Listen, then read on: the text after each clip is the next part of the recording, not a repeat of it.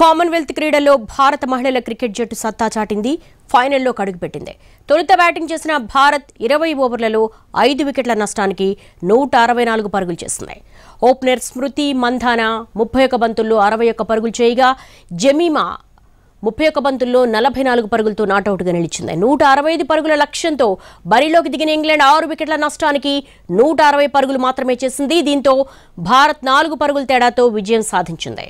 Commonwealth క్రీడల్లో భారత మహిళల క్రికెట్ జట్టు సత్తా చాటింది ఫైనల్లో కడుగుపెట్టింది తొలుత బ్యాటింగ్ చేసిన భారత్ ఇరవై ఓవర్లలో ఐదు వికెట్ల నష్టానికి నూట అరవై నాలుగు పరుగులు చేసింది. ఓపెనర్ స్మృతి మంధాన ముప్పై ఒక బంతుల్లో అరవై ఒక పరుగులు చేయగా జమిమా రోడ్రిక్స్ ముప్పై ఒక బంతుల్లో నలభై నాలుగు పరుగులతో నాటౌట్గా నిలిచింది. నూట అరవై ఐదు పరుగుల లక్ష్యంతో బరిలోకి దిగిన ఇంగ్లాండ్ ఆరు వికెట్ల నష్టానికి నూట అరవై పరుగులు మాత్రమే చేసింది. దీంతో భారత్ నాలుగు పరుగుల తేడాతో విజయం సాధించింది.